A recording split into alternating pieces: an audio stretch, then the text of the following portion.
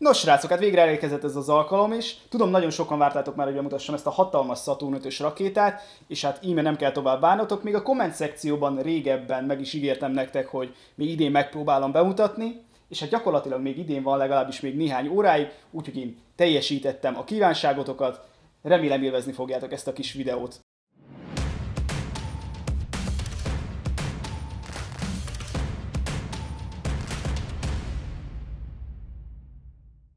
Ugye ez egy LEGO IDS készlet, mégpedig a 21309-es Saturn 5-ös rakéta, milyen meglepő módon, és mint hogy ez egy LEGO IDS készlet, ez gyakorlatilag ugye nem a LEGO által készült dizájn, hanem egy LEGO rajongó által készített dizájnról van szó, amiben a LEGO egy kicsit belenyúl, de ebben az esetben annyira sok változtatást nem kellett eszközölniük, viszont elvették a minifigurákat, ebben az esetben csak két mikrofigurát fogunk kapni, mert ugye a mikrofigura scale-ben építették meg ezt a Saturn 5-ös rakétát, és ugye ebből is látszik az, hogy milyen hatalmasra sikerült. De nézzük is meg a doboz dizájnt, mindig ahogy szoktuk. Először is azon kívül, hogy látjuk a dobozon, hogy egy elég hatalmas készletről beszélünk, mert ugye a doboz is elég nagy, a súlyán is érzem, hogy rendesen van benne Lego, bár ebben az esetben szerintem sok kisebb alkatrészről lesz majd szó ebben az esetben, mert rengeteg olyan részlet van itt a rakéta felületén, ami hát szerintem vagy egy kicsit unalmassá teszi az összeépítést, de erről majd beszélek akkor, amikor kész is van az alkotás. Először is a dobozunkon látjuk fönt a LEGO logót, mellette ebben az esetben a NASA Apollo Saturn 5-ös feliratát látjuk, 14 pluszos a készlet, 21309-es a kódneve és 1969 darabos,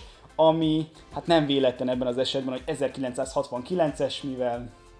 hát ugye akkor történt a holdra szállás. Aztán a fődizájnunk a dobozon nem meglepő módon maga a Saturn 5-ös rakéta, ami mellett egyből közvetlen látjuk is azt a kis holdra szálló egységet, amit ugye méretarányosan megalkotott itt a Lego. Ezzel a holdra szálló egységgel, vagy legalábbis hasonlóval már találkozhattatok a csatornán, mégpedig ugye az idén megjelent holdra szálló egység, ami egy Creator Expert készlet volt. Hogyha esetleg még azt a videót nem láttátok, akkor mindenféleképpen nézzétek meg ott fönt a sarokban, mert szerintem ez egy egész jó adás volt, és hogyha szeretitek az ilyen názás témát, akkor már csak azért is érdemes megnézni. Aztán itt az oldalán látjuk a doboznak a rakéták méretét, összesen 17,9 cm széles lesz, és egy méter magas a rakétánk, ami hát LEGO keretein belül tényleg egy hatalmas készletnek minősül, viszont ez még mindig nem betegszik a valósággal, mert ugye ha esetleg nem tudtátok volna, ugye ez a leghatalmasabb rakéta, amit ember készített valaha is, összesen 111 méter magas, ami gyakorlatilag egy 36 emeletes épület magasságának felel meg,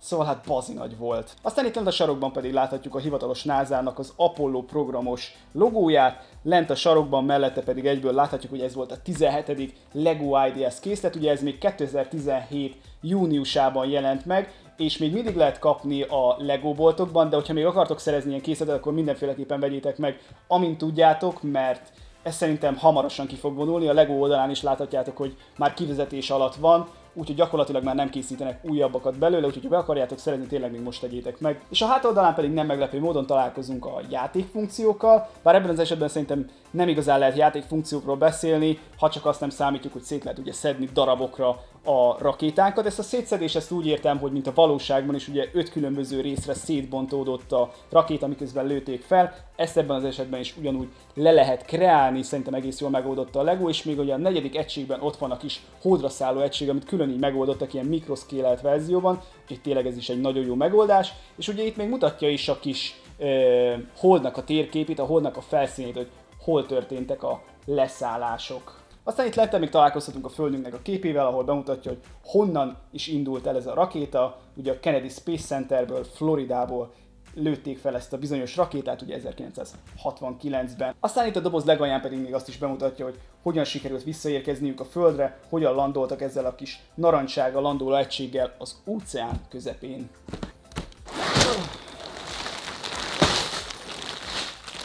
Összesen 12 számozott zacskóval találkozunk a készletben, és az összerakási útmutatóval, amit gyorsan ki is bontok.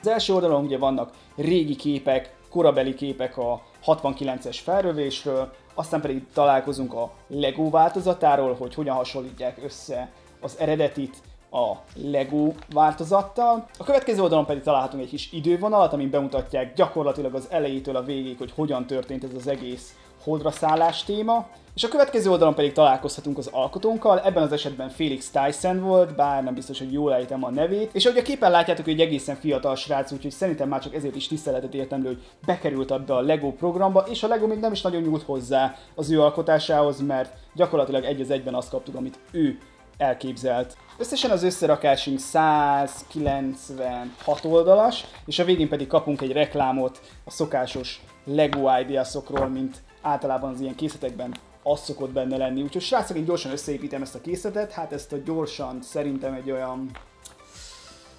4-5 órára satszolnám, és utána megnézzük kicsit közelebbről.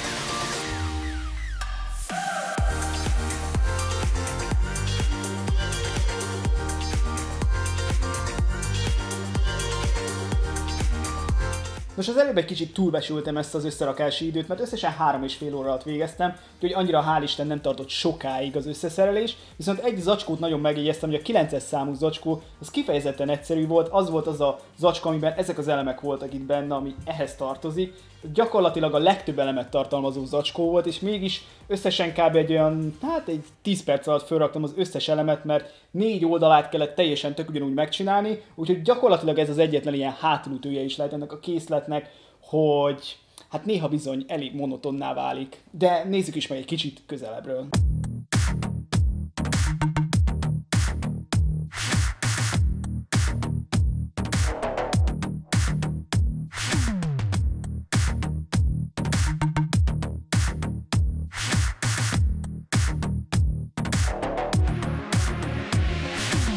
Készlethez hagyományos minifigurák nem érkeznek, csak ezek a mikrofigurák, ami ugye próbálják bemutatni azt, hogy mégis mekkorák az igazi emberek az igazi rakétához képest, és szerintem azért elég jól érzékelteti azt, hogy hát mennyire kicsik már a rakétához képest. Ugye három darab érkezik belőlük, ugye itt van Buzz Aldrin, Neil Armstrong és Michael Collins, aki ugye nem is szállt le a hold felületére, de én akkor is oda tettem, mert nem akarom, hogy elveszten az a kicsi figura, mert ugye oda le lehet szúrni. A háttérben láthatjátok, hogy itt van a kis holdla szálló egységünk. Önnélzetes a kis latol! Ami szerintem egész jól ki lett dolgozva ahhoz képest, hogy ugye csak egy ilyen kis microscale figura, vagyis hát építmény, és még ehhez képest is kapunk hozzá egy printelt elemet, ugye maga a főajtó az printel van megoldva, és tele vagyunk ilyen aranyszínű elemekkel, ami elég ritka. Legalábbis én nem nagyon találkoztam sűrűn ezekkel a színű elemekkel, és az egész egy ilyen szürkés baseplate-en van rajta, ami ugye egyértelműen a hold felszínét akarja szimbolizálni, és itt mellette pedig találta egy ugyanolyan kis microscale kis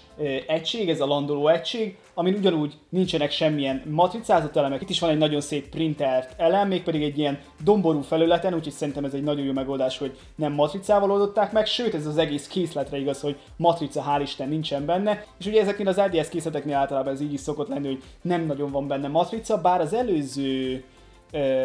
IDS készlet, amit kiraktam, ami azt hiszem a jó barátok készlet volt, abban azért volt néhány matricázott elem. Remélem ez nem lesz egy tendencia ebben a kis készletcsoportban, mert szerintem ez egy tényleg nagyon jó megoldás, hogy nincsen benne egyáltalán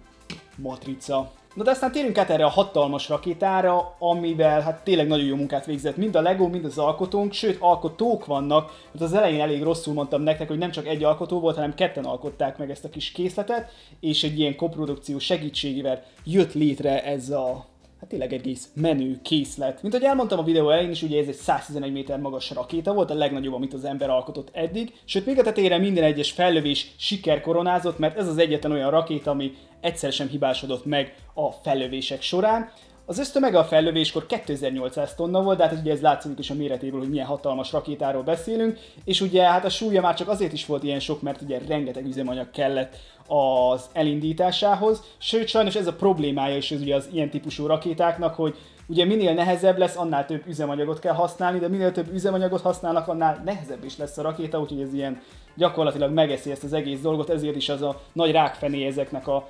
rakétáknak, ezeknek az űrrakétáknak, hogy ugye az elmúlt 20-30 évben nem is nagyon foglalkoztak vele, nem is nagyon fejlesztették, mivel hát ezt még nem nagyon sikerült átlépniük. Aztán ugye persze mostanában már maszkék próbálkoznak egy újabb, ö, gazdaságosabb megoldásra, ugye visszaérkeznek a rakéták a Földre, és ugye megpróbálják egy kicsit gazdaságosabbá tenni ezeket az űrrakétákat, mert ugye sajnos ezeknek a legnagyobb problémája mindig is az volt, hogy egyszer használatosak. De na most már tényünk át a Lego verzióra, mert most már tényleg nagyon sokat beszélek a háttértörténetről. Szóval a lényeg a lényeg, hogy szerintem nagyon jól megcsinálta a Lego ezt a kis kialakítást, már csak azért is, mert ugye szerintem ti ezt már elég jól tudjátok, én nagyon szeretem, amikor a Lego úgy készít modelleket, hogy szépen le van simítva, és ugye ennél a rakéta modellnél még jobban ugye ki is hozták azt, hogy szépen lesimították ilyen csempézett elemekkel, amik ugye printelt elemeket is tartalmaznak, mind az USA feliratok, mind a zászlók, mind a United States felirat, az mind printelt elem, tehát mint ahogy már mondtam, nem volt benne egyetlen matricázott elem. De, de nézzük most már végig fokozatonként a rakétákat. Ugye azt mondanom se kell, hogy természetesen így is ki tudjuk állítani, hogyha fölállítjuk így teljesen függőlegesen, és akkor ezeket az elemeket csak így simán félre tudjuk tenni, és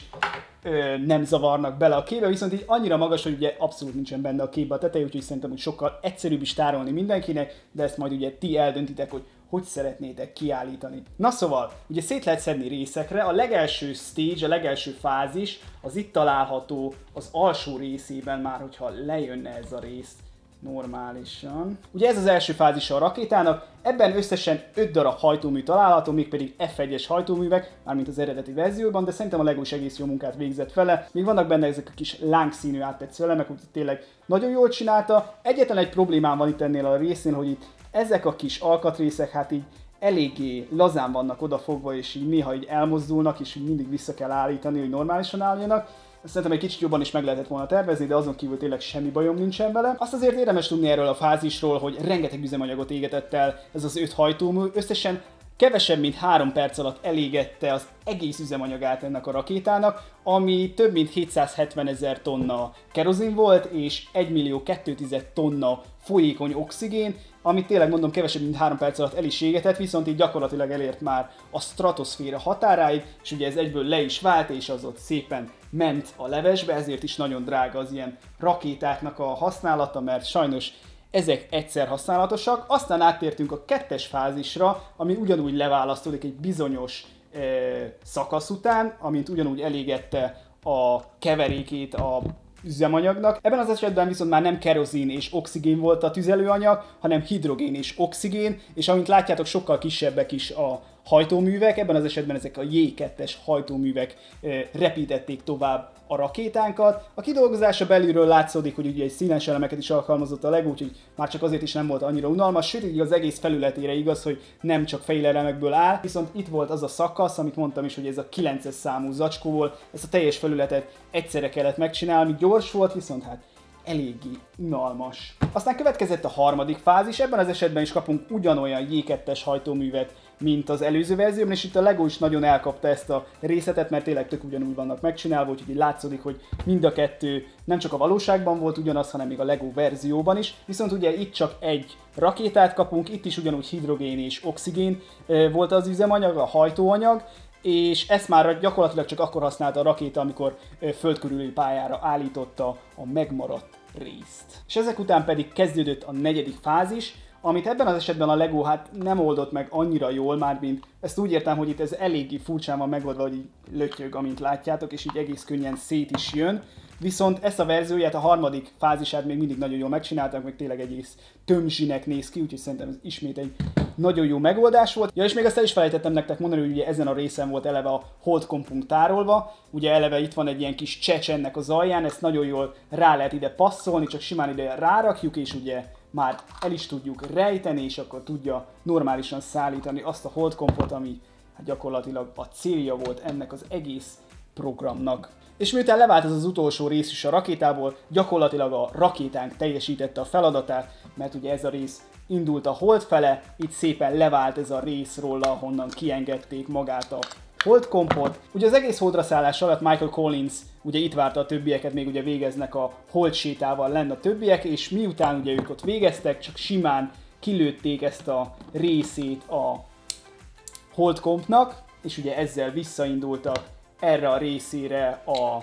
kis rakétánk megmaradt egységével, és így tértek ugye vissza magára a földre. És ugye összesen 5 napig tartott ez az egész procedúra, ugye az egész holdra szállási téma, egészen a fellövéstől a visszaérkezésig, mert ugye a fellövés ugye 1969. július 16-án történt a reggeli órákban, és ugye július 21-én tértek vissza délután, 5 után, 6 előtt egy kicsivel, akkor zuhantak bele az óceánba. Úgyhogy srácok, én összességében tényleg nagyon meg vagyok elégedve, már csak azért is, hogy milyen mondani valója ennek a készletnek. Nagyon szeretem az olyan készleteket, aminek ugye van olyan tartalma is, amiből eléggé jól lehet tanulni, és ebben az esetben szerintem egész sok információt megtudunk, hogy egy kicsit utána járunk, de